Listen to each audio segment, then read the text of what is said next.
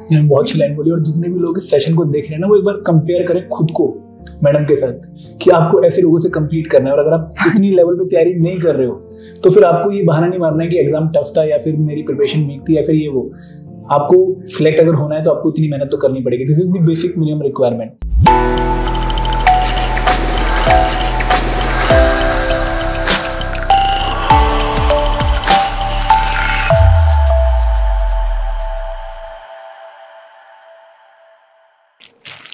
Hi, Chakshita. Hi. Hi. Congratulations. Thank you so much. How are you? I'm good. How are you? Please come. Welcome to Adadap. Thank you so much.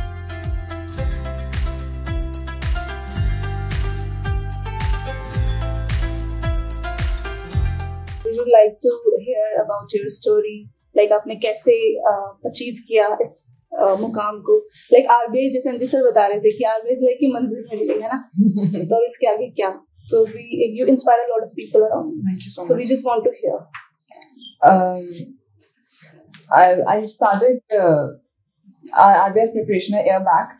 So uh, I think uh, I, I prepared for UPSC, so that helped a lot. And uh, since I'm from a commerce background, uh, and uh, so I think uh, finance and management part got covered in from the commerce background, and rest the the current affairs section and everything was uh, uh, I think UPSC preparation helped a lot. So that's how.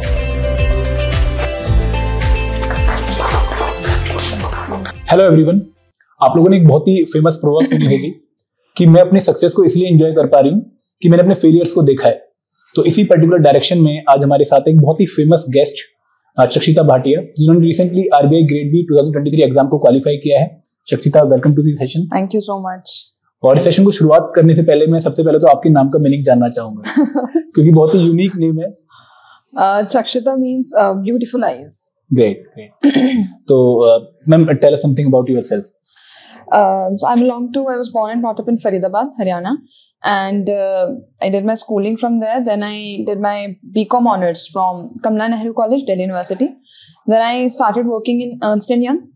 Uh, and I pursued masters along with uh, Ernst and Young. And uh, then I left EY to prepare for UPSC.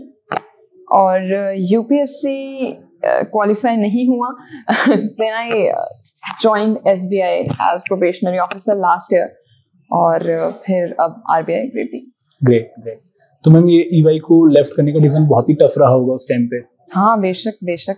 It was a it was an amazing organisation I enjoyed working there but somehow in the back of my mind हमेशा ये था कि नहीं मतलब I wanted a government job so और uh, फिर इसलिए मुझे EY and I thought at that time मुझे लगा कि अभी तो टाइम है मेरे पास। अगर मैं छोड़ देती हूँ तो I be like I have some years to prepare इसलिए उस टाइम फिर मैंने ईवाई छोड़ दिया और और एक्चुअली पेरेंट्स को बनाना बहुत मुश्किल होता है। जब आप एक बहुत ही अच्छी रेपुटेटेड ऑर्गेनाइजेशन छोड़ रहे होते हो जी। कि मैं ये ड्रॉप करके ये करना चाहती हूँ तो फादर का रिएक्शन क्या था उस पर्टिकुलर टाइम पे Uh, my parents are very supportive.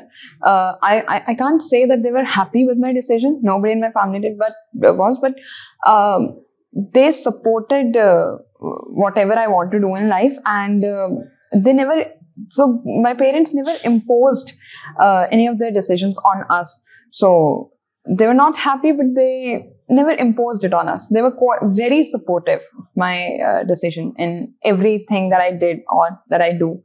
So difficult था बट सिंस कुछ अच्छा ही करने जा रही थी कुछ बुरा तो नहीं कर रही थी। So they were very supportive right तो यूपीएससी की प्रिपरेशन आपने स्टार्ट जी। करी। तो यूपीएससी का आपका पूरा एक्सपीरियंस कैसा रहा मैम यूपीएससी का बहुत although I never qualified it but बहुत अच्छा रहा। बिकॉज़ आई थिंक एक बार अगर आप यूपीएससी के लिए पढ़ते हो तो आपकी पूरी पर्सनालिटी चेंज हो जाती है Right. बिकॉज़ आप बहुत सारे इश्यूज़ के बारे में पढ़ते हो uh, आपको बहुत ज़्यादा बारीकी से किसी भी इशू के बारे में जानकारी मिलती है और uh, आपकी एक एक पर्सनालिटी अलग हो जाती है और आपको एक एक you know it's it's it's an ocean of knowledge that you gain from prepare preparing for UPSC so हाँ यूपीएससी मेरे लिए काफ़ी अच्छा रहा था because of UPSC I was able to qualify S B I और for that matter R B I grade B so I never regret preparing for UPSC but you know जब हम यूपीएससी की तैयारी करते हैं ना तो उसके साथ कुछ नेगेटिव्स भी आते हैं और कुछ पॉजिटिव्स भी आते हैं। पॉजिटिव आपने हाईलाइट किए। जी। लेकिन एक नेगेटिव भी आता है कि अगर हम सिलेक्ट नहीं होते हैं तो कॉन्फिडेंस बहुत लो हो जाता है। सेल्फ डाउट आना शुरू हो जाता है। कि मैं कैपेबल हूँ या नहीं। जी। तो उसको आपने किस तरीके से ओवरकम किया मैम सेल्फ डाउट तो आता ही है ज़ाहिर सी बात है because I prepare for it for about three years और क्वालिफाई नहीं हुआ तो सेल्फ डाउट ये आता है कि you know was my decision right और नॉट और बाकी आसपास की भी जो हमारी एक्सटेंडेड फैमिली होती है लोग होते हैं वो लोग भी बोलते ही हैं कि and it's a very difficult question to answer कि अब अब क्या कर रहे हो? ठीक है? तो अब आगे क्या प्लान है? अभी तक तो कुछ हुआ नहीं। और अभी भी एग्ज़ाम ही दे रही है ये वो। सो so, हाँ डिफ़िकल्ट होता है but I think you have to I was very confident about my self that even if I like अगर यूपीएससी नहीं भी होता तो I will do something I knew it मुझे एक, स्पेसिफाइड टाइम एक वो अब अटेम्प्ट तो यूपीएससी को देने ही देने other than that I was very confident about कि कुछ ना कुछ तो हो ही जाएगा। नहीं ये बहुत इंपॉर्टेंट पॉइंट है. एक्चुअली अगर आपको अपने पर विश्वास है ना और आप फोकस्ड हो कि मैं कुछ ना कुछ अच्छा कर ही लूँगी अपनी लाइफ के हम्म। साथ तो एक कॉन्फिडेंस बना रहता है। बहुत अच्छी बात एंड मैम जब आपने यूपीएससी की प्रिपरेशन स्टार्ट करी थी और फिर जब फेलियर्स आए फिर लोगों का रिएक्शन देखना शुरू किया हम्म। लेकिन फिर भी खुद को मोटिवेटेड रखना कि नहीं कुछ करना बहुत मुश्किल है खुद को मोटिवेटेड रखना बट आई थिंक जो वो परसेवरेंस रहनी चाहिए। राइट अगर आप आप गिर गए हो लेकिन अगर आप उठ के नहीं खड़े हुए तो फिर आप वहीं पड़े रहोगे ना Right. स्टैगनेंट पोजीशन हो जाती है आपको you have to you know get yourself up and you have to put in a lot of hard work in Right. yourself and as well as what you do. Right. तो आपको अपने ऊपर वो mental strength भी चाहिए होती है कि नहीं कोई बात नहीं नहीं Right, हुआ अब तो पढ़ना शुरू करना ही है। अब और हम लोग देखते हैं कि और क्या कहाँ गलती थी उसको रेक्टिफाई करना। Right. और फिर आगे फिर से उठ के खड़े होके वापस पढ़ना। It's difficult but it's you know at the end if you achieve something it's all worth it ma'am आपने मुझे बताया था कि अक्टूबर में प्रीलिम शेड मींस का रिज़ल्ट आया था जी, और आपको क्वालीफाई नहीं हुआ का का रिज़ल्ट आया था आपको। क्वालीफाई नहीं हुआ था। और उसके डेढ़ महीने बाद ही शायद एसबीआई पीओ का एग्ज़ाम था। हाँ अक्टूबर में प्रीलिम्स का रिज़ल्ट आया था। दिसंबर में एस बी आई का प्री था। एस हाँ का आई का and then I give another exam called I T for M B A तो वो जो एक एक डेढ़ महीने का टाइम गैप था मेरे पास जब रिज़ल्ट आने के बाद उसी टाइम लैग जो था उसी में मैंने प्रिपेयर करा है बैंकिंग के लिए। तो मैम अगर मैं आपकी सिचुएशन को एक बार दोबारा से रिफ्रेम करूँ ना तो वो बहुत ही टफ टाइम होता है कि आपका प्रीलिम्स का रिज़ल्ट आया है आप हाँ। नहीं हुए हो एंड देन आपको दिख रहा है कि मेरा नेक्स्ट टारगेट है मेरे सामने। जी। बट वो हिम्मत नहीं होती है। मतलब मैंने बहुत लोगों को गिरते हुए देखा है। मतलब फेल होते हुए देखा है कि चलिए एग्ज़ाम भी गया अगला तो देखेंगे अगले साल जाते हैं लंबा टारगेट रखते हैं। बट वो डेढ़ महीना आपके लिए बहुत टफ रहा होगा। बेशक। लेकिन वो होता है ना एक डू और डाई वाली सिचुएशन होती है कि भाई एक ये था कि अगर अब अब इस साल अब यूपीएससी तो हुआ नहीं है। और अगर अब कुछ और नहीं मिला so I to go back to private sector और फिर वही उसी सैलरी में जॉब करना। और इतने गैप के बाद आपको कोई बहुत ज़्यादा अच्छी ऑर्गेनाइजेशनल जॉब तो नहीं मिलेगी। तो वो था कि अभी यही है जो है यही करना है। और तो उसके लिए I I gave my hundred percent for S B I ma'am S B I P O is not an easy exam सभी जानते भी हैं। हम्म, तो वहाँ पे ना क्वांटम रीजनिंग का बहुत एक इम्पोर्टेंट रोल है। And since you are from commerce background तो थोड़ा सा उसमें हाथ टाइट रहता है कॉमर्स वाले। तो वो डेढ़ महीने में पेपर के हिसाब से प्रिपेयर करना और क्वांटम रीजनिंग को भी इम्प्रूव करना तो उसके लिए आपकी क्या स्ट्रेटेजी इस पर्टिकुलर टाइम पे? यू यू वेरी राइट क्योंकि हम लोग को आदत होती है मैथ्स uh, के जो क्वेश्चन है कन्वेंशनल मेथड से सॉल्व करने की स्टेप मार्किंग के। हमें रहता है बोर्ड में एक एक एक एक स्टेप के एक एक मार्क्स मिलेंगे हमें। तो और फिर जो अपना कैलकुलेशन होती है उसको भी बड़ी फास्ट करनी होती है। हमारे पास टाइम नहीं होता ये कॉम्पिटेटिव एग्ज़ाम्स में कि हम लोग बहुत ज़्यादा एक क्वेश्चन को टाइम दें। It has to be solve within seconds तो उसके लिए मैंने वही डेढ़ महीना I gave lot of mocks बहुत सारे मैंने मॉक्स दिए। और then and then for quant एक सर हैं राकेश यादव सर जी तो वो एसएससी के लिए पढ़ाते हैं। तो उनकी मैंने उनका कोर्स लिया था अर्थमेटिक वाला। तो वो मैंने एक महीना उनकी सारी वीडियोस देखी। जो भी उन्होंने पढ़ाया जिस मेथड से पढ़ाया उसी मेथड को मैंने बिल्कुल अडॉप्ट कर लिया। उसी शॉर्टकट से मैंने क्वेश्चन सॉल्व करे। तो कौन तो मेरा वहाँ पर सॉर्ट हो गया थोड़ा सा और रीजनिंग के लिए मैंने मॉक्स दिए। इंग्लिश के लिए कभी ऐसी कोई ज़रूरत नहीं पड़ी। इंग्लिश तो थोड़ा ठीक सी है। तो और रीजनिंग के लिए मॉक्स तो मॉक्स मॉक्स बहुत ज़्यादा इंपॉर्टेंट है. Even if you don't watch तो आप शॉर्टकट्स की वीडियोस देख लो थोड़ी थोड़ी बट जो की होती है वो मॉक्स है. राइट मैम इस पर्टिकुलर टाइम पे ना अगर हम सक्सेस को सेलिब्रेट कर रहे हैं तो वो बहुत इजी हो जाता है आपके लिए वो कि पास में मैंने ये एक्टिविटीज़ करी थी तो ऐसा हो गया. मतलब हाँ। अगर वो ना हुआ होता तो शायद वो डिफरेंट एक फ्रेम होता है। हाँ तो क्या होता है ना कि हम प्राइवेट जॉब छोड़ के आए हैं फिर हम तैयारी कर रहे हैं गवर्नमेंट जॉब की और वो हमें अचीव नहीं हो रही है। तो कहीं वो टेंडेंसी नहीं आती कि चलो दोबारा एक प्राइवेट जॉब में जाते हैं स्टेबल हो जाते हैं पैसा कमाते हैं। हाँ बिल्कुल बिल्कुल। तो वो नेक्स्ट एग्ज़ाम टारगेट करना गवर्नमेंट जॉब ही जहाँ पे अगेन सिलेक्शन रेट बहुत लो है। तो बहुत टफ फ़ेज़ रहा होगा मैं आपके लिए। बहुत ही टफ था। और अब जो मेरा लास्ट वाला जो यूपीएससी का अटेम्प्ट था उसके बाद मेरा यही था कि अगर ये नहीं होता तो फिर अब जॉब तो चाहिए चाहिए। तो मुझे I have to go back to private sector and then दिसंबर में ही वो एग्ज़ाम था तो मैंने आपको बताया ना कि वो जो एक डेढ़ महीना था ना उसमें था कि या फिर तो ये। अदरवाइज़ मुझे यही फेयर था I have to go back to you know Right. Private sector and that too coming from an organisation such as EY जो ऑलरेडी इतनी Right. रेप्यूटेड है। तो वो छोड़कर वापस से वापस प्राइवेट में जाना वो थोड़ा सा सेटबैक मुझे Right. लग रहा था। तो हाँ it was a difficult time but no at the end it's it's all it was all meant to be all the Right. Struggle तो मैम एस डी में जब आपने जॉब शुरू करी तो वहाँ पे आपको क्यों लगा कि मुझे एस डी के बाद अब आरबीआई ग्रेड बी की तैयारी करनी चाहिए? नहीं आरबीआई ग्रेड बी तो मैंने लास्ट ईयर भी दिया था before joining SBI okay but मेरा मेंस नहीं हुआ था because I never studied for it prelims इसलिए हो गया था क्योंकि मेंस जैसा ही होता है एसबीआई क्योंकि पीयू वो रीजनिंग करंट अफेयर्स वो सेम ही रहते हैं एसबीआई जैसे. तो that's how I I qualified prelims never never studied for mains क्योंकि बहुत कम टाइम होता है प्रीलिम्स और मेंस में। जब आपने स्टार्टिंग से थोड़ा पहले से प्रिपरेशन नहीं करी है मेंस की तो वो जो थोड़ा सा टाइम होता है दस पंद्रह दिन हाँ पंद्रह दिन का टाइम रहता है उसमें आप बहुत ज़्यादा सिलेबस नहीं कवर कर सकते आरबीआई का। यस तो मेंस इसलिए भी नहीं हुआ था। उसके बाद फिर एस जाने के बाद जो मेरे बैचमेट्स हैं there were two of them who two और three of them who paid for RBI interview last year so that's how I got to उनसे थोड़ी सी मैंने सजेशंस लेकर और फिर मैंने आरबीआई की preparation I think I started in October November RBI की प्रिपरेशन बीच में थोड़ा सा गैप आ गया था ट्रेनिंग वगैरह का बट तब से मैंने स्टार्ट करा था। Okay dedicated preparation and ma'am do you think कि आपकी एसबीआई की जॉब ने आपको हेल्प किया आरबीआई ग्रेड बी के किसी भी फ़ेज़ में? हाँ डेफिनेटली क्योंकि बैंकिंग सेक्टर का ही है ना तो थोड़ी सी जो प्रैक्टिसेस होती हैं बैंकिंग में जब हम ऑपरेशंस में रहते हैं तो उससे ये इंटरव्यू फ़ेज़ में हेल्प करती है। राइट इंटरव्यू फ़ेज़ में बहुत ज़्यादा हेल्प करती है क्योंकि प्रीलिम्स तो चलो क्वांट रीजनिंग मैथ्स में सब हो गया। मेंस में इट्स ऑल डिस्क्रिप्टिव राइट और लेकिन इंटरव्यू में जो आप बैंकिंग इंडस्ट्री में जब आप ऑपरेशंस वाला पार्ट देखते हो और वो सारी चीज़ें प्रैक्टिकली जब आप देखते हो वो आपकी you know it gives you it gives an एक रूट लेवल का पर्सपेक्टिव. मिलता है। And you are working at the time of giving RBI grade B this time जी जी सो मैम बहुत डिफ़िकल्ट रहा होगा मैनेज करना जॉब के साथ प्रिपरेशन को। हाँ जॉब के साथ बहुत मुश्किल होता है बीच में हमारे ट्रांसफर्स भी हुए। आ, मुश्किल होता है। बट ऐसा नहीं है कि देखो अनअचीवेबल कैसा आपका डेली रूटीन था मतलब किस तरीके से मैनेज करते थे टाइम को? Since I am a morning person I can study at night दस बजे के बाद मेरा दिमाग बंद हो जाता है।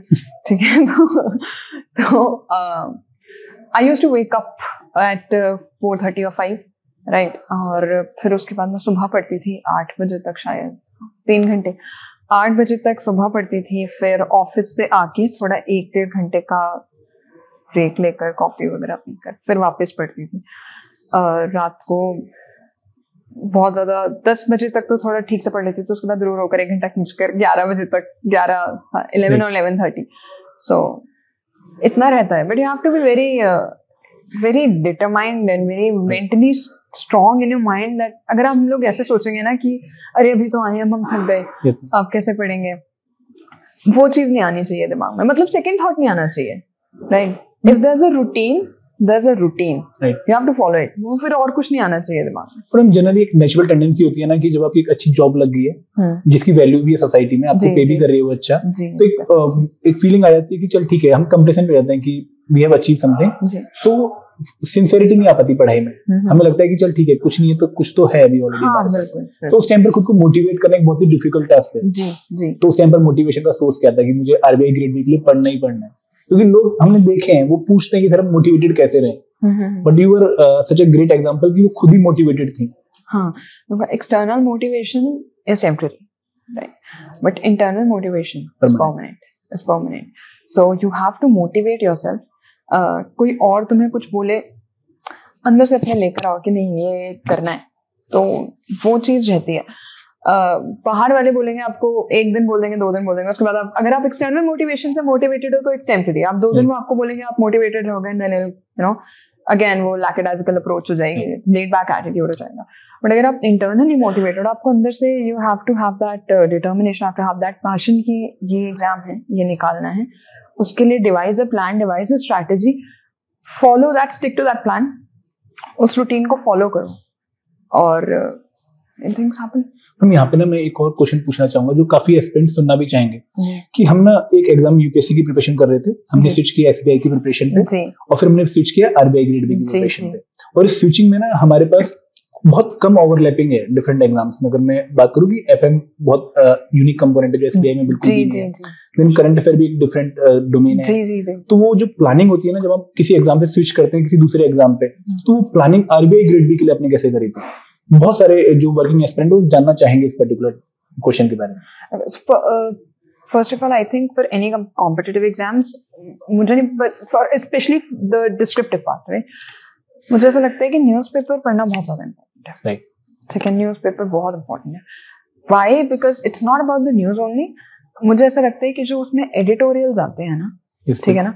वो एक कभी कभी आप ऐसा होता है कि आप न्यूज़ पढ़ते हो लेकिन उसके जो इफेक्ट्स होते हैं उसके जो you know the background related to that news या फिर जो भी उसके कॉन्सिक्वेंसेज होते हैं वो आप नहीं असेस कर पाते। ठीक है? हमारे पास बड़ी लिमिटेड। वो है माइंडसेट तो वो जो चीज़ें हैं ना वो हम लोग एडिटोरियल से एक आपका ओपिनियन फॉर्म होता है। Right you read the positive you read the negative ठीक है? और आपका ओपिनियन तो न्यूज़ पढ़ना बड़ा इंपॉर्टेंट है। मुझे ऐसा लगता है डिस्क्रिप्टिव के लिए। और so started day I start my day with newspaper ठीक है? तो सुबह मेरा एक ये रहता था कि मुझे ऑफ़िस जाने से पहले एक डेढ़ घंटे में न्यूज़पेपर तो खत्म करना ही करना है। और just pick out just pick the relevant news only जो भी आपके एग्ज़ाम से रिलेटेड है। आरबीआई से रिलेटेड है तो सिर्फ़ फाइनेंशियल और इकोनॉमिक्स वाली न्यूज़ उठा लो। थोड़ी सी गवर्नमेंट स्कीम्स जो भी आपके सिलेबस से रिलेटेड है। अम, तो न्यूज़पेपर पढ़ो। सबसे पहले it gives a kick start to your day आपका न्यूज़पेपर खत्म हो जाता है तो आपको ऐसा लगता है कि चलो एक टास्क अपना दिन का खत्म है। फिर उसके बाद the subjects that you are comfortable with since I am जिस टाइम पर आपकी प्रोडक्टिविटी ज़्यादा रहती है आप टफ सब्जेक्ट्स उठाओ। राइट ठीक है?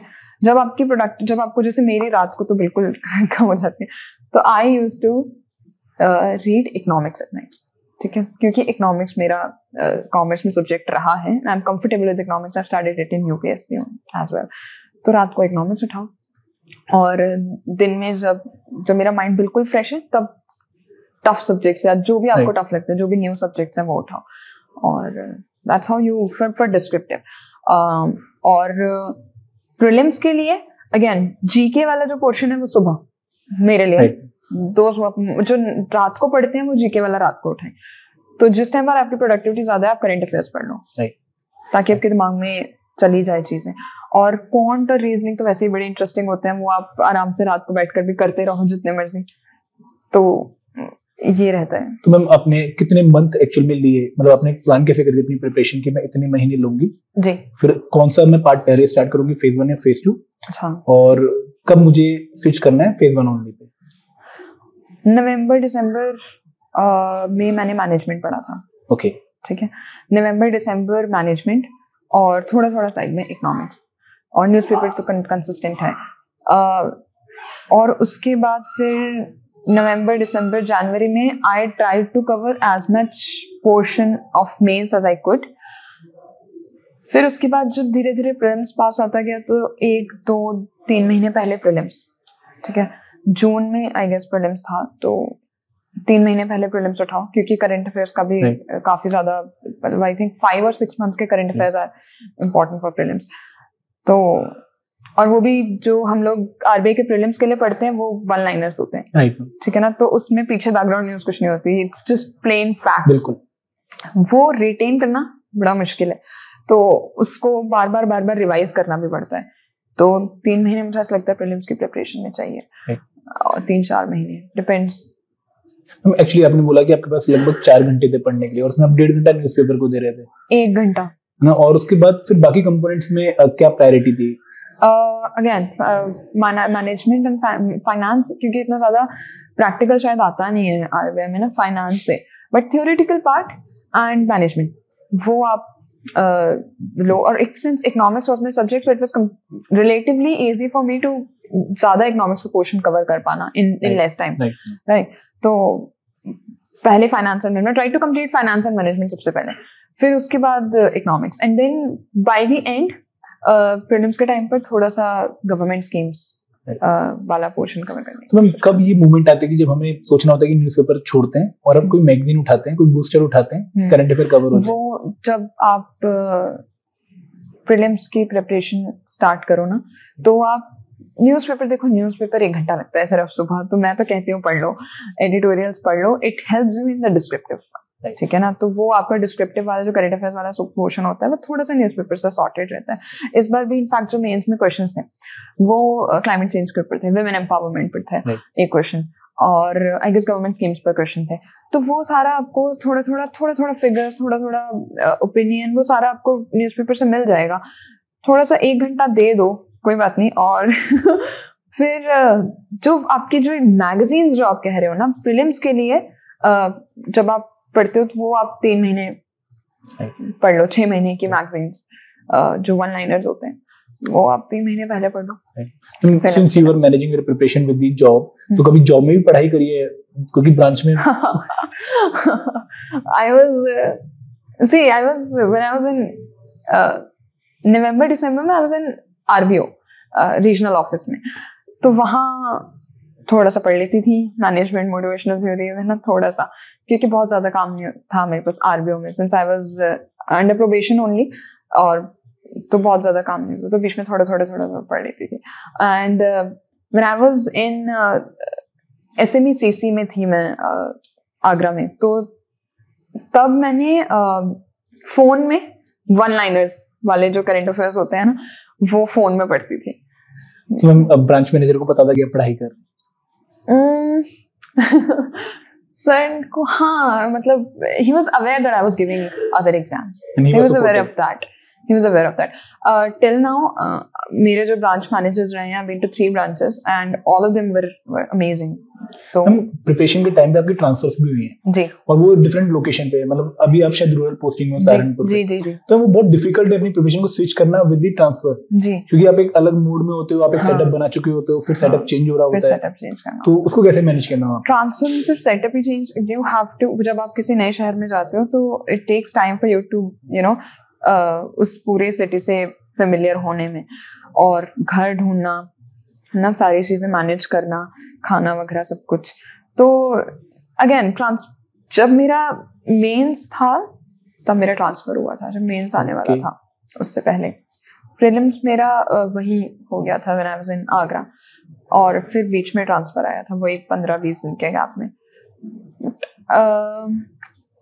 इनिशियली आई वुड से जो भी वर्किंग है uh, मैं यही कहूँगी कि you know if if it is possible for that particular one month और something hire house help so that you can Right. You know पूरा उसमें पढ़ाई में डेडिकेट करो अपना टाइम तो वो ही मैंने करा था. आई ज़्यादा फंसना क्रिएट करते हुए मैंने just I just when I shifted to this new place उसी दिन घर मैंने फाइनल कर लिया था. बिकॉज़ आई मुझे पता था कि मेरे पास टाइम बहुत कम है और मैं चीज़ों में टाइम वेस्ट नहीं कर सकती। तो उसी दिन घर फाइनल कर लिया था और फिर उसके बाद धीरे धीरे करके चीज़ें होती गई sort but I again I made it a point कि मेरे रूटीन जो है वो बहुत ज़्यादा डिस्टर्ब ना हो। टू वेक अप अर्ली वो एक जो सुबह का टाइम होता है ना वो बहुत इंपॉर्टेंट होता है। तब आपके कोई डिस्टर्बेंस नहीं होती और आपके पास कोई और सोशल कुछ ये व्हाट्सएप वगैरह कुछ नहीं रहता तो आप पूरा फोकस कर सकते हो अपने पढ़ने में। So how active you were on social media during the preparation I'm I'm not on any social media. I'm not on uh, मतलब मैंने इंस्टाग्राम में भी बाद में इंस्टॉल करा है। फेसबुक पर तो मैं काफ़ी टाइम से नहीं हूँ। I am not a very social media kind of person I never post anything I am very low key person तो नहीं एक्चुअली आपकी ना पूरी जो स्टोरी से मुझे एक पॉइंट मिला है ना वो ये कि बहुत डिटरमिन्ड हो मैम मतलब आपको सिलेक्शन लेनी लेनी थी। और उसके लिए आपने पूरी मेहनत करी है। मतलब लोगों के पास ना हज़ार एक्सक्यूजेज होते हैं जी। कि हम हमारी ट्रांसफ़र हो रही है हमें घर भी मैनेज करना है घर पे भी बात करनी है तैयारी भी करनी है बहुत सारे एक्सक्यूजेस और लोग उसी को अपनी लोगों को आगे पास करते रहते हैं कि इस सिलेक्ट नहीं हो रहे बट आपका ना शायद मेरा था जो मेन वो था कि मुझे एक वुमेन ऑफ़ सब्सटेंस बनना है हम्म। और शायद आपने उसी लिए ईवाई भी छोड़ी थी जी जी जी। तो मुझे है कि आरबीआई ग्रेड भी ने आपका वो ड्रीम पूरा कर दिया है। जी बिल्कुल बिल्कुल। बहुत सारे हमारे पास कोई भी काम ना करने के हज़ार बहाने होते हैं ठीक है? लेकिन हमें वो एक बहाना ढूंढना है। जिस पे हमें काम करना है। दूसरी बात आप मैंने वही कि अगर आपने कोई रूटीन बना लिया ना और आपको उस just make yourself a robot right ठीक है ना? रोबोट बना लो अपने आप को कि करना है। उस चीज़ में सेकंड थॉट जैसे ही आएगा ना जैसे अगर आपको सुबह उठना है ठीक है ना? तो आप सुबह उठ गए एकदम से तो तो आप उठ गए। अगर आपके मन में एक बार भी ये ख्याल आ गया कि अरे यार एक घंटा और सो लेते फिर आपका वो दिन गया। बहुत अच्छी लाइन बोली और जितने भी लोग इस सेशन को देख रहे हैं ना वो एक बार कंपेयर करें खुद को। मैडम के साथ कि आपको ऐसे लोगों से compete करना है और अगर आप इतनी लेवल पे तैयारी नहीं कर रहे हो तो फिर आपको ये बहाना नहीं मारना है कि एग्ज़ाम टफ था या फिर मेरी प्रिपरेशन वीक थी या फिर ये वो। आपको सिलेक्ट अगर होना है तो आपको इतनी मेहनत तो करनी पड़ेगी। This is the basic minimum requirement हम आगे बढ़ते हैं। मैम आपके साथ एक बहुत इंपॉर्टेंट शायद एक मैं कहूँगा एक ट्रेजिडी टाइप की हो गई थी कि आपने बहुत अच्छी प्रिपरेशन कर रखी थी यू। वेरी कॉन्फिडेंट लेकिन पेपर में क्वांट सेक्शन ने आपको परेशान कर दिया था। आप शेयर करेंगे उसके बारे में? हाँ सो क्वांट का एक्चुअली क्या था कि हम लोग सारे हमारा पूरा बैच था तो काफ़ी लोगों ने आप प्रीलिम्स तो सभी ने दिया था। तो हम लोग सारे बहुत कॉन्फिडेंट थे।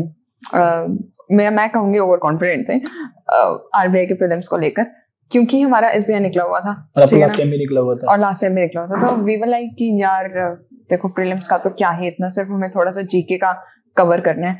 और जीके अगर हमारा सॉर्ट हो गया तो प्रीलिम्स तो हम कर ही लेंगे उसमें कुछ नहीं है। ठीक है?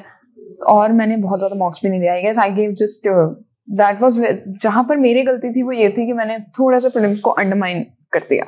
ऑल्दो आई थिंक पिछले लास्ट ईयर से इस बार लेवल टफ था प्रीलिम्स यस का ठीक है रीजनिंग भी हर साल टफ होता जा रहा है। होता ही जा रहा है देखो सर कंपटीशन कितना ज़्यादा है।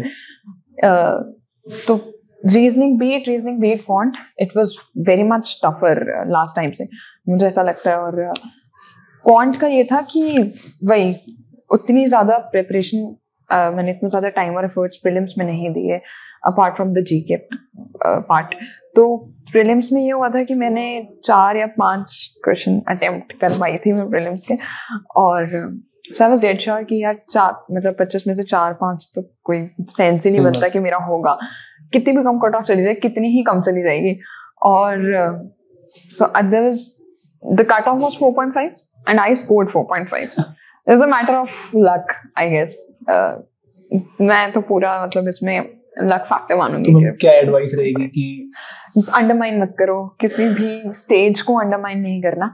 Be it prelims be it interview don't ever ever try to be overconfident. There are so many people so many students have worked hard for so many years for RBI Right. ठीक है? पाँच पाँच मतलब लोग अपने attempts exhaust कर चुके हैं आरबीआई को लेकर भी। Right. तो हमें किसी जस्ट अपने आप में ये कोशिश करो कि हम बेस्ट हैं। ठीक है ना? सिर्फ़ अपने आप से कम्पीट करो। और लेकिन बाकी लोगों को अंडरमाइन नहीं करना। किसी भी स्टेज को अंडरमाइन नहीं करना। बी प्रीलिम्स में हम लोग ने वही गलती करी थी। अगेन वही मैं कि it was a matter of luck कि उतना ही कट ऑफ़ था और उतना ही मेरा स्कोर था। अब सबके साथ नहीं होता हमेशा तो ये चीज़ है। तो क्वांट में four then I was very depressed क्योंकि मुझे लगा था कि मेरा तो प्रीलिम्स भी नहीं हो रहा। Alone mains and I been preparing for mains तो वो था बट समहाउ मैम बट ऐसा होता है ना कि फिर हम वेट करते हैं कि चल रिज़ल्ट आएगा फिर तैयारी शुरू करेंगे फ़ेज़ टू की। हम रुक जाते हैं उस पर्टिकुलर पीरियड पे कि थोड़ा सा रिलैक्स होते हैं हाँ। बर्न आउट हो गए। हाँ। तो वो आपने फेस रखा या फिर आपने फ़ेज़ टू की तैयारी कंटिन्यू रखी? Mm, क्योंकि अगेन ये मिस्टेक होती है लोगों से कि हम हाँ। वेट करते रहेंगे रिज़ल्ट का। एक्चुअली माय फ्रेंड्स जो मेरे बैचमेट्स थे उन्होंने मुझे शुरू से कहा कि नहीं हो जाएगा। ठीक है ना? वो ग्रेस मार्क्स होता है और ये वो you don't stop preparing for mains और उन्होंने मुझे काफ़ी ज़्यादा मोटिवेट कर दिया। काफ़ी ज़्यादा ऑप्टिमिस्टिक तो नहीं कहूँगी क्योंकि uh, मैं थी नहीं। ऑप्टिमिस्टिक इतना ज़्यादा रिज़ल्ट को लेकर क्योंकि मुझे पता था कि मैंने इतना अच्छा कौन सेक्शन नहीं करा। बट वो लोग उनका ये था कि ग्रेस मार्क्स से हो जाएगा। अगर हो जाता है तो यू विल रिग्रेट कि मैंने मेंस की प्रिपरेशन नहीं करी। और उसका रिस्क नहीं लेना। तो अपनी preparation you know continue with your preparation होगा या नहीं होगा it will help you next year कोई बात नहीं अगर इस बार नहीं हुआ तो। और वही मैंने करा। एक दो दिन का ब्रेक लेके प्रीलिम्स के बाद फिर उसके बाद मैंने बहुत ज़्यादा दिल से तो नहीं पढ़ती थी पर अगैन वही रोबोटिक अप्रोच कि भाई पढ़ना है तो पढ़ना है। तो पढ़ती रहती थी। मेंस की प्रिपरेशन थोड़ी बहुत कंटिन्यू रखी थी। उतनी ज़्यादा डेडिकेटेडली नहीं क्योंकि फिर रिज़ल्ट आने के बाद बनाई I must say you got very good friends तो आपकी प्रिपरेशन में उन्होंने बहुत हेल्प करी। बहुत ज़्यादा। तो आप उनको मेंशन करना चाहोगे कहाँ कहाँ मतलब उनका रोल रहा? क्योंकि फ्रेंड्स जनरली हम एक्सक्यूज बना लेते हैं कि यार आपकी वजह से पढ़ नहीं पा रहे हैं दोस्तों की वजह से पढ़ नहीं पा रहे हैं। नहीं हमारा एक्चुअली जो हमारा एस वाला बैच है ये बहुत ही कम्पिटिटिव बैच है। ऐसे people there have been people जो कि आर बी असिस्टेंट गए हैं दो तीन लोग हैं। Somebody joined ECGCP or somebody joined. So they all were very uh, academically very uh, competitive और एक आपके जो पेयर्स होते हैं ना उनका uh, उनके साथ कंपटीशन होना बड़ा ज़रूरी है। Right it keeps you motivated और इससे आपको ये पता चलता है कि यार वो कर रहा है तो फिर मैं भी तो कर सकती हूँ ना। और ये है तो uh, और they they they motivate and they help you in your studies read the sources meet आप कहीं पे भी अगर आपको कोई पॉइंट समझ में नहीं आ रहा तो आप उनसे पूछ सकते हो। तो अपने आसपास वो ग्रुप रखना बड़ा ज़रूरी है मुझे ऐसा लगता है। मैम ये ग्रुप आइडेंटिफाई कैसे होता है?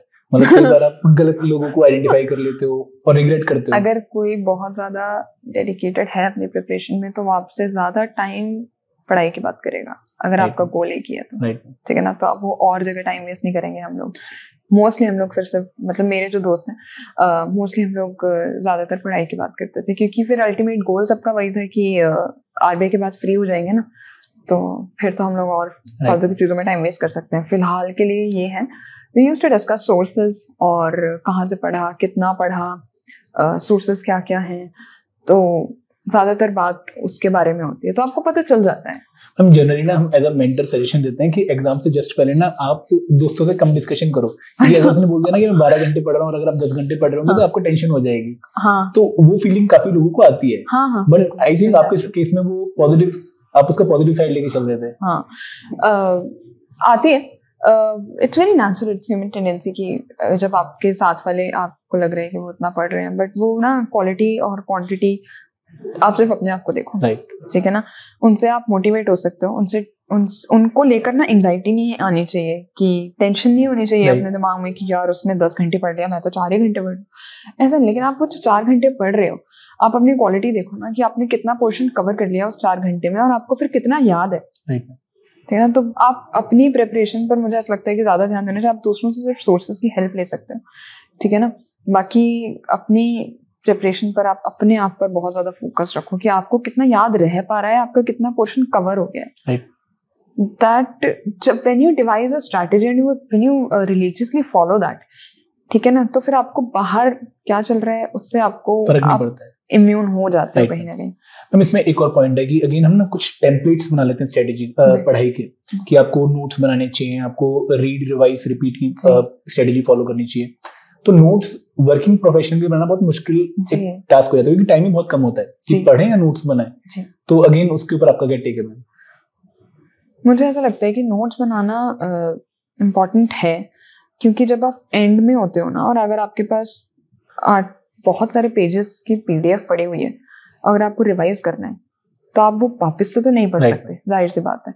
ठीक है ना? आप अब आजकल तो बहुत ज़्यादा हमारे पास टेक्नोलॉजी है आप आप पीडीएफ है अगर आप ज़्यादातर हम लोग पीडीएफ से पढ़ते हैं। अगर आपके पास पीडीएफ है और आपके पास अगर कोई बुक भी है तो आप उसमें हाईलाइट कर लो।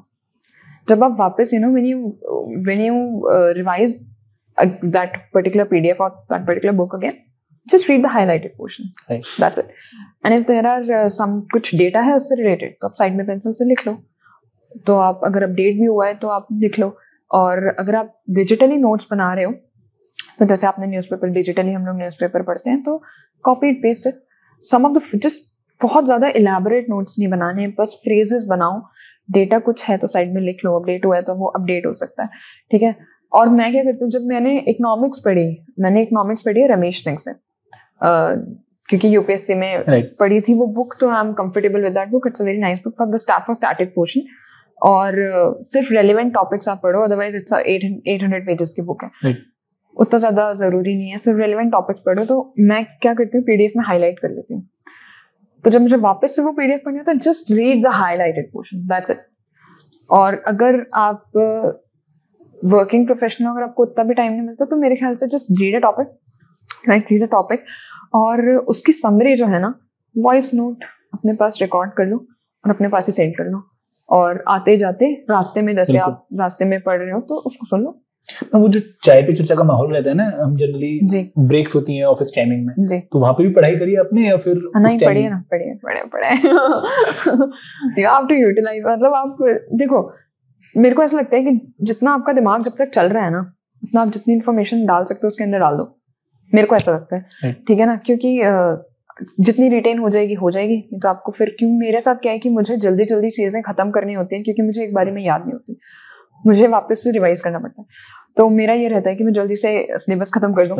ताकि मैं वापस से रिवाइज कर सकूँ और फिर मैं सिर्फ़ हाईलाइट वाला पोर्शन पढ़ती हूँ मैंने ऐसा करा है मैं लंच करती थी तब मैं उस टाइम शायद अकेले लंच करती थी तो मैं वो वो हंड्रेड वो जो पेजेस वाली पीडीएफ होती है ना वन लाइनर्स वाली हाँ हाँ। या फिर जो क्विजेस वाली पीडीएफ होती है वो सारा मैं करती थी आते जाते जब मैं ब्रांच मेरी branch was six kilometres away from my home so it took me it used to take me I think twenty और थर्टी मिनट्स तो।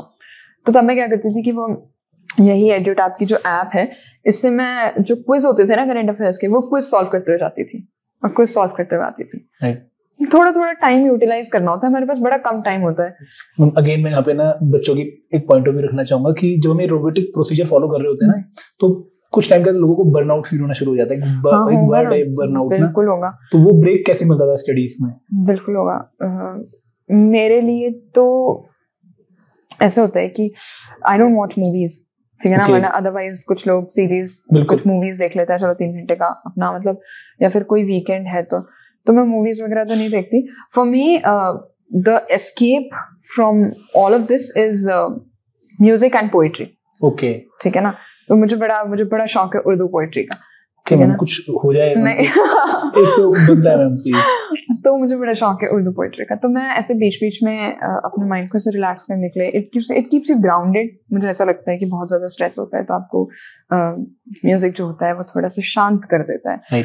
और पोइट्री भी जो है इट इजीज योर मुझे ऐसा मेरे क्योंकि मेरा इंटरेस्ट है तो it could be different from for किसी को गिटार बजाना पसंद है गिटार जो भी हॉबी एक उर्दू एक शेर तो बन रहा है मैम यहाँ पर। Um, so um, we have this uh, we एक पोएट थे अल्लामा इकबाल ओके मोहम्मद इकबाल। उन्होंने मेरे ख्याल से वो लिखा है सारे जहाँ। बिल्कुल ठीक ना? 1930s में। जी। ठीक है ना? तो उन्हीं का एक शेर है। तो थोड़ा मोटिवेटिंग है हम लोग बड़े ऐसे सक्सेस वाले सेशन में हैं तो मोटिवेटिंग शेर ही सुना सुनाऊँगी। तो उनका एक शेर है बड़ा पसंद है। पूरी गज़ल है उसी का एक शेर है कि तू शाहीन है परवाज है काम तेरा। तेरे आगे आसमां और भी हैं। शाहीन इज़ ईगल परवाज इज़ फ़्लाइट तो तू शाहीन है परवाज है काम तेरा। तेरे सामने आसमां और भी हैं। बहुत बढ़िया मैम और मैम इसी पर्टिकुलर डायरेक्शन में आगे बढ़ते हुए बोलूँगा कि आपकी ना हम हार्ड वर्किंग साइड देख रहे हैं बहुत हम्म। डेडिकेटेड साइड दिख रहे हैं। तो क्या शिक्षिता का कोई और साइड भी है जो घर वालों के साथ होता है या फिर ऑफ़िस में या कभी और? ऑफ़िस में और घर वालों के किसी हम लोग हम- लोग हर किसी के साथ ना अलग अलग होता है।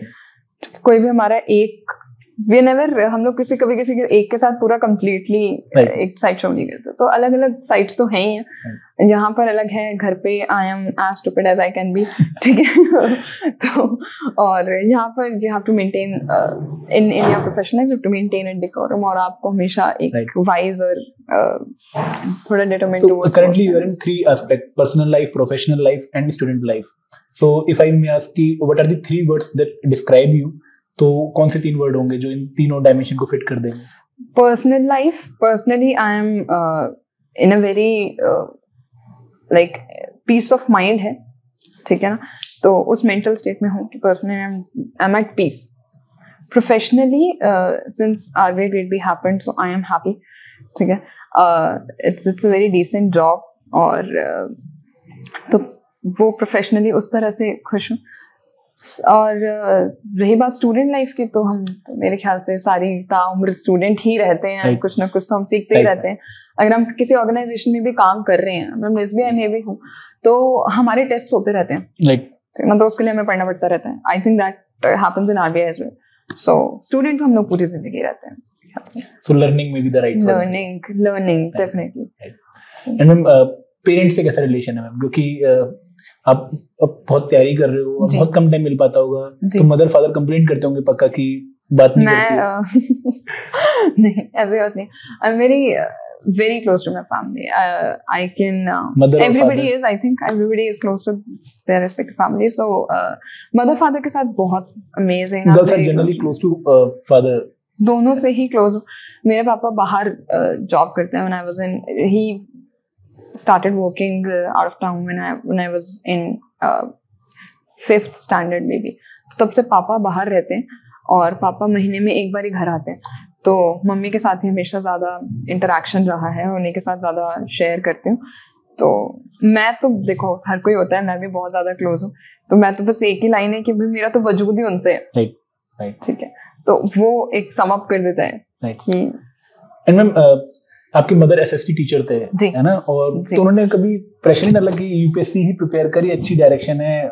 नहीं नहीं नहीं प्रेशर मैंने बताया ना हमारे बीट लाइक मी और माय ब्रदर हमारे ऊपर कभी किसी चीज़ का प्रेशर नहीं डाला गया। ग्रेट ठीक है ना? ना, ना ही मेरे भाई के ऊपर ना मेरे ऊपर हम लोग हमेशा बहुत ही फ्री रहे हैं इन सब चीज़ों से कि हमारा जो कोर्स ऑफ़ लाइफ है ना वो हम ही लोगों ने जो डिसाइड कर लिया they were they have been very supportive my parents कोई भी मतलब एक ये तो एक अकेडमिकली लीव जॉब छोड़ना was a very big decision उसमें या फिर छोटे छोटे भी जो डिसीज़न होते हैं वो हम पर इम्पोज नहीं करते. तो इसलिए इसीलिए भी बहुत ज़्यादा हम लोग क्लोज हैं क्योंकि हम इतने स्ट्रिक्ट नहीं रहे वो कभी. सो ना उन्होंने प्रेशर डाला और ना आपने बीच किया ऐसा हाँ कुछ। ऐसा कुछ और ऐसा कुछ हाँ करेक्ट तो it's it's an open relationship तो मैम जब आपने उनको बताया कि आरबीआई ग्रेड बी में एग्ज़ाम क्लियर कर चुकी हूँ तो क्या रिएक्शन था पेरेंट्स का? मैम आपको सबसे पहले किसी ने बताया कि आप सिलेक्ट हो गए हो?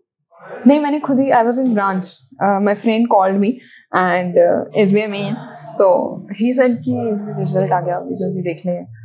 और उसने भी दिया था इंटरव्यू तो मैंने बोला कि ऐसे झूठ मत बोला भी कैसे आ सकता है? आठ तारीख को तो मैं इंटरव्यू देकर आई हूँ। थर्टीन को रिज़ल्ट आया। My interview was on eight December अभी तो इंटरव्यू देकर आई हूँ अभी कैसे रिज़ल्ट आ गया? सर नहीं नहीं आ गया तू चेक कर।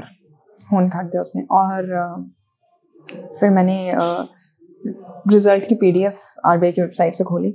और इतना ज़्यादा मेरे मुझे ऐसा लग रहा था बाहर मेरा दिल धड़क रहा है क्योंकि बहुत ज़्यादा फीलिंग में समझ सकता हूँ बहुत काँप रहे बहुत ज़्यादा बहुत ज़्यादा तेज मुझे लग रहा था मुझे रिज़ल्ट आने से पहले हार्ट अटैक ना आ जाए।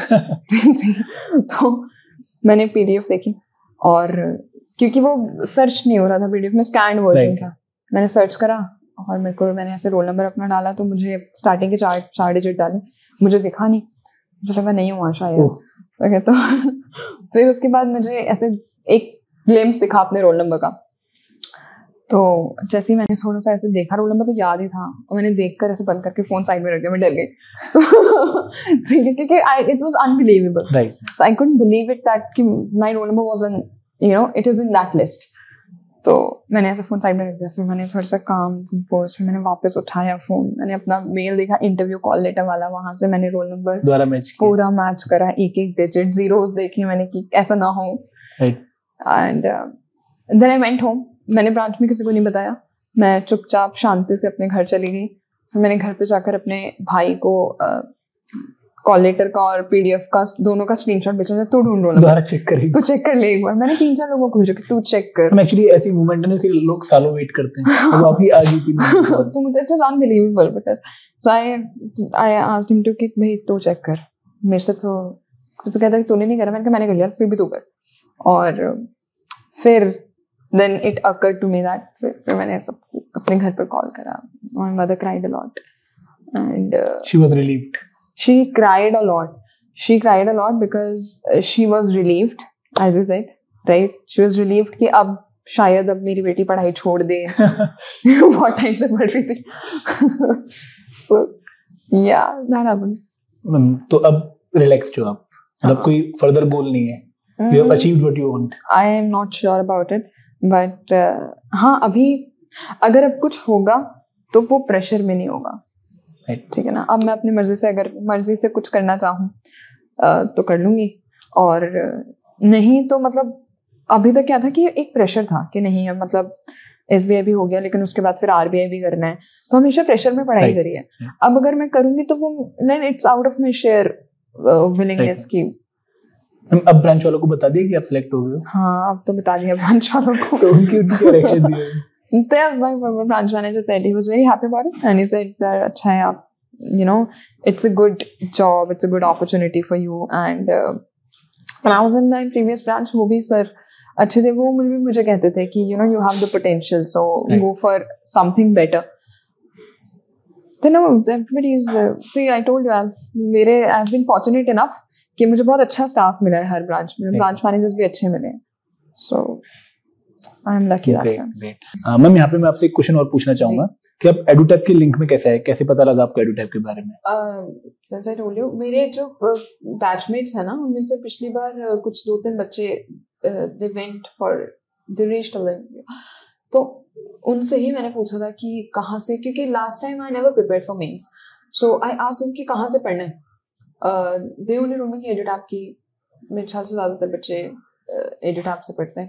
एडुटैप की समरी शीट्स हैं एडुटैप के कॉन्सेप्ट नोट्स हैं and that's how I came to know about Edutap और फिर मैंने वो एडुटैप का ही आपसे जो समरी शीट्स आई इनिशियली मैंने कॉन्सेप्ट नोट से पढ़ा था। ठीक है ना? क्योंकि वो डिटेल्ड है डिटेल्ड है। और सबसे अच्छी बात है कि ना बहुत ही curate it's a well it's a very well curated course it's a very well structured well curated course और बहुत ही होलिस्टिक कवरेज है। Be it summary sheets be it current app magazine और मैंने बताया कि एडिट ऐप की ही app से मैं क्विजेस करते हुए आती जाती थी और uh, तो काफ़ी क्यूरेटेड है। और मैंने एडिट ऐप से ही कम- जो स्टैटिक पोर्शन है वो हाँ सारा एडिट ऐप से ही करा है। For the current affairs I referred current app magazine and Vision IAS okay right Vision IAS में कुछ सेलेक्टेड टॉपिक्स पूरी मैगजीन पे काम के लिए है हमारी आरबीआई के लिए तो खैर Right. पूरी कुछ नहीं है। तो जो भी इकोनॉमिक से रिलेटेड न्यूज़ है या फिर गवर्नमेंट स्कीम से रिलेटेड न्यूज़ है या फिर जैसे जो बहुत ही सोशल इश्यूज़ होते हैं ना हमारे पास इकोनॉमिक और. सोशल वाला जो ईएसआई वाला पोर्शन है उसमें जो सोशल इश्यूज़ है वो आप थोड़ा बहुत विजन आईएएस से देख सकते हो। तो ये मेरे सोर्सेज रहे हैं एडिट और Vision since you followed Edutap in your entire preparation journey for RBI grade जी। कोई सजेशन आप देना चाहो एडुटैप के लिए जहाँ पे हम इंप्रूव करना चाहें? बहुत सारी पीडीएफ्स हैं। राइट राइट बहुत सारी पीडीएफ्स हैं। बट वो भी इसलिए हैं uh, आप you guys try to provide everything that you can right कि हम लोग सब कुछ एक कुछ मिस ना हो जाए। कुछ भी मिस ना हो एक भी टॉपिक मिस ना हो और हम सब कुछ एक ही यू नो एक वन स्टॉप सोल्यूशन दे दें कि भाई यही है और यहीं से पढ़ना है। तो एक वन स्टॉप सोल्यूशन है you always try to do that हमें थोड़ा सा फ़िल्टर करके पढ़ना पड़ता है। Right. है ना? जैसे थोड़े से पास्ट ईयर के ट्रेंड्स देखकर जैसे मैंने आपको बताया कि फाइनेंस का पार्ट प्रैक्टिकल नहीं. आते हैं। तो हम उसको स्किप कर सकते हैं। स्किप नहीं स्किप कर सकते हैं एज कि हम लोग उसको लास्ट में हम लोग Right. थोड़ा सा देख सकते हैं। ईएसआई और बाकी जो मैनेजमेंट वाला पार्ट है वो ज़्यादा हमेशा आता है। तो try to cover that first Right. And then we can हम लोग थोड़ा सा लास्ट में उन क्वेश्चंस को देख सकते हैं। राइट तो एक वन स्टॉप सोल्यूशन तो डेफिनेटली है। But still your suggestion is most welcome we will try to work on that तो मैं आपको बता रही हूँ ना हमें फ़िल्टर करना है। You will try to provide everything that you can कि एक भी टॉपिक मिस ना हो which is very good but वो हमें अपने आप अपने हिसाब से फ़िल्टर करना पड़ेगा सो तो आपने देखा कि इस एग्ज़ाम को क्लियर करने के लिए आपको बहुत अच्छी मेहनत करनी पड़ती है और वो बहुत कंसिस्टेंटली करनी पड़ती है। ऐसा कुछ नहीं है कि मैम लकी थे। मैडम एक राइट मोमेंट पे राइट प्लेस पे थे just because of her hard work इसलिए उनको लक ने हेल्प किया। तो दोस्तों अगर आपको उस पॉइंट पे पहुँचना है ना तो आपको बहुत मेहनत करनी पड़ेगी। And thank you very much ma'am for this session and again very very congratulation for your selection ma'am it's our selection thank you thank thank you so much